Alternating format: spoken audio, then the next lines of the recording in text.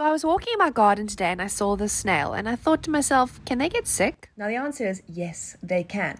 But let's learn a little bit more about invertebrate immunity. Now, many of us are very familiar with vertebrate immunity, but what about invertebrates? Well, invertebrates have three mechanisms at their disposal, and trust me, these are not easy to bypass. The first one is antimicrobial proteins, which cause lysis of the cell or death of the foreign invader.